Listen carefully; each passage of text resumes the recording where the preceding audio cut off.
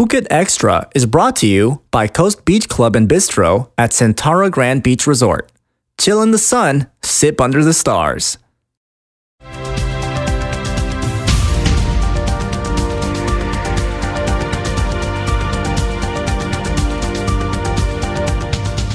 Krap and welcome to Phuket Xtra, brought to you by Coast Beach Club and Bistro at Centara Grand Beach Resort Phuket. I'm JP Mustanza, and here's the news you need to know. The Sea Gypsies in Rawai are no doubt still rejoicing at yesterday's legal victory. The Saw Phuket Provincial Court dismissed the case against the four GC Gypsies who were accused of unlawfully occupying the beachfront. The four men were sued by a group of others who claimed to be descendants of the original owner of the 12 Rai plot of land in the deep south of Phuket, and they had hoped to turn the area into a resort. Among the evidence used to claim the Sea Gypsies' right to the land was a photograph from His Majesty the late King Bhumibol Adulyadej, which shows the village back in 1959 and proved they had not encroached on the land. Tension around the legality of the Sea Gypsies claiming the land had been going on for years, sometimes erupting into violence, but yesterday's court ruling has put the issue to bed, at least until an appeal is filed.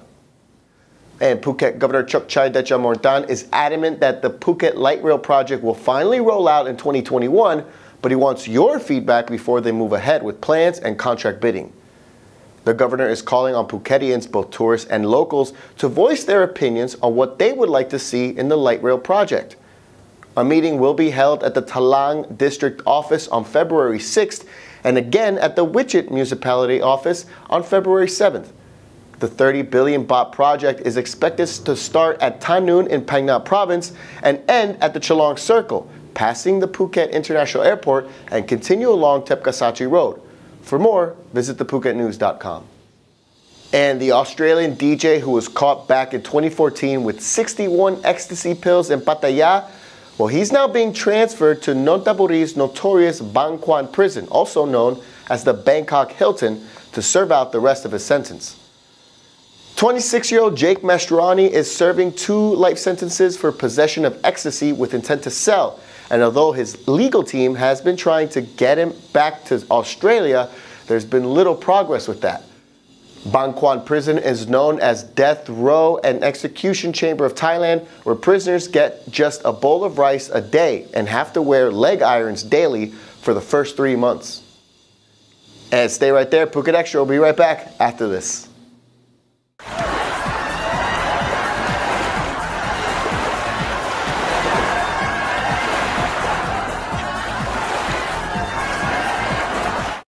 Strength and conditioning classes, who Phuket only official CrossFit, yoga, basic and Olympic lifting, mobility and recovery classes, ice baths, saunas, and free weights. Go hard or go home. Welcome back to Phuket Xtra. In an attempt to stamp out position buying within the Royal Thai Police Force ranks, Prime Minister Prayut Chan-o-cha is expected to use his Section 44 of the interim charter to restructure the police reshuffling procedure. Every year, thousands of officers within the Royal Thai Police are transferred to different posts around the country, but there have been allegations of officers paying large amounts of cash to buy noteworthy positions and appointments. The new process would have the National Police Chief Chakthip Chaijinda have the final say on appointments and transfers, though that has yet to be confirmed. The move comes just under two months after nearly 300 police applicants had allegedly cheated on the police entrance examination. And it was a very happy Chinese New Year for Phuket as 5 billion baht was generated during the recent holidays, up 15% from just last year. The Chinese New Year festival began over the weekend, and so far, the Phuket Chamber of Commerce revealed that the 5 billion baht in revenue has been mostly through restaurants and hotels.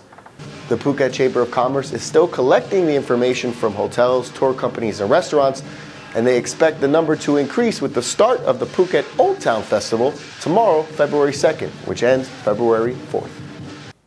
And that's it for Phuket Xtra today. But before we go, we want to know what would you like to see in the Phuket Light Rail project? Do you have any suggestions? Let us know in the comments. From all of us here at the Phuket News Center, thank you for watching. Until tomorrow, stay classy, Phuket. Tranquility, serenity, and exclusivity. Banyan Tree Phuket's afternoon high tea is where casual encounters become lifelong memories. meet old friends, get to know new ones, and mingle amongst the sprawling view of the tranquil lagoon. With unique sweet and savory treats and exclusive options from the private collection of the owner of Dilmah, this is high tea the way it should be. Laugh, mingle, and sip at the Banyan Tree Phuket, an unforgettable experience.